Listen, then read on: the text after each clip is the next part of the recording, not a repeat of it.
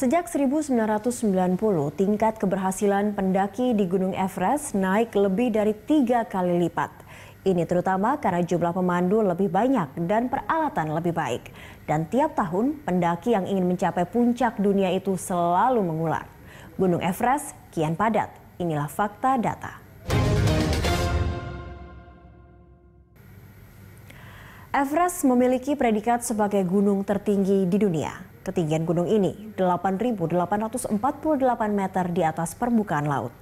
Gunung Everest juga disebut Komo Lungma oleh orang-orang Tibet yang memiliki arti Mother Goddess of the Universe.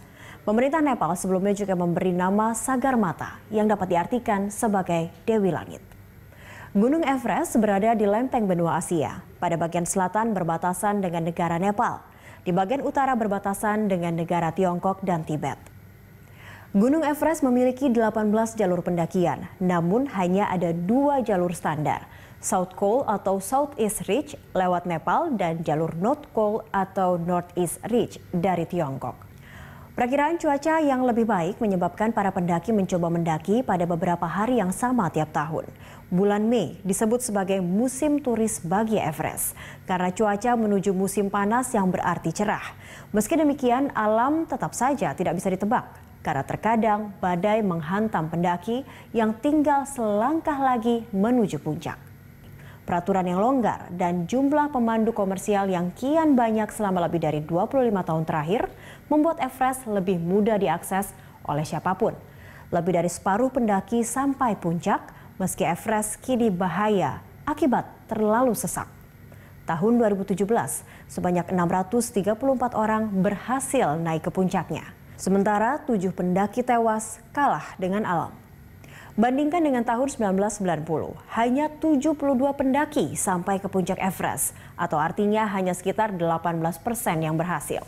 Tahun 2000 ada 145 orang yang mencapai puncak atau tingkat keberhasilan pendaki 45 persen.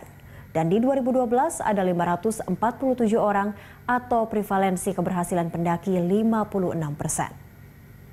Anggapan bahwa semakin mudah menaklukkan Everest membuat gunung itu diserbu pendaki yang penasaran. Sayangnya, sebagian besar yang datang merupakan pendaki pemula yang belum punya pengalaman bertarung dengan ganasnya alam. Setiap tahun sekitar 60 ribu pendaki dan pemandu mengunjungi sisi utara gunung yang berada di wilayah Tiongkok.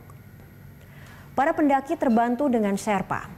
Sherpa atau pemandu pendaki di Gunung Everest sekaligus berperan sebagai porter tangguh bagi pendaki Everest.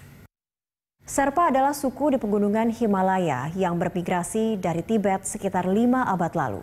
Mereka tinggal selama beberapa generasi di desa-desa di Nepal Barat yang berada di ketinggian 2000 sampai 5000 mdpl.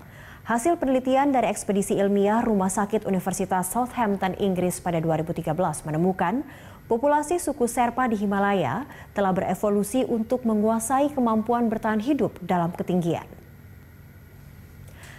Bila ingin mengukur kemampuan tubuh menyesuaikan diri terhadap ketinggian, jawabannya ada dalam pendakian Gunung Everest. Kadar oksigen di puncak Everest hanya sepertiga yang terkandung di bumi. Dan menurut konsultan perawatan klinis di Rumah Sakit Universitas Southampton, Inggris, sekaligus pendiri Extreme Everest, Danny Levet, hanya 6% pendaki dari seluruh dunia yang mampu mendaki tanpa oksigen tambahan. Semakin tinggi dari permukaan laut, tekanan udara semakin rendah. Para pendaki pun membutuhkan bantuan tabung oksigen untuk dapat ke puncak Everest.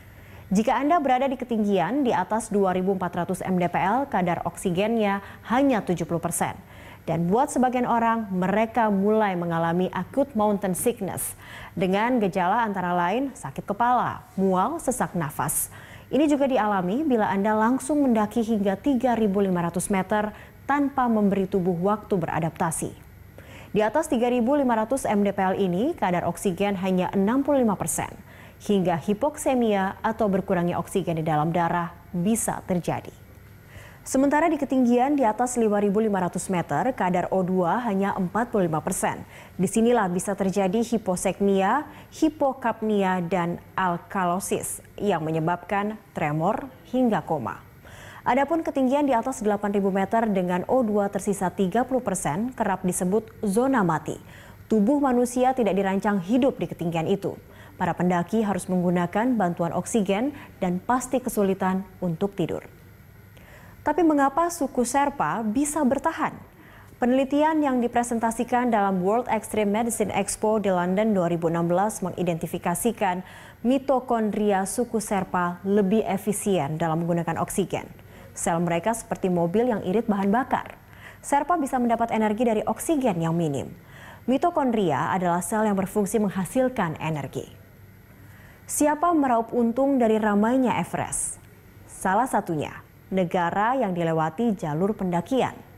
Pendapatan Nepal yang berada di sisi selatan Everest bertambah 4 juta dolar Amerika per tahun. Ini baru dari urusan surat izin pendakian Everest. Sementara Tiongkok tengah mengembangkan pariwisata Everest. Salah satunya berupa destinasi ski berskala internasional seluas 12 kali lapangan sepak bola. Persaingan antar operator pendakian juga makin sengit. Mulanya biaya paling murah mendaki Everest 20 ribu dolar Amerika.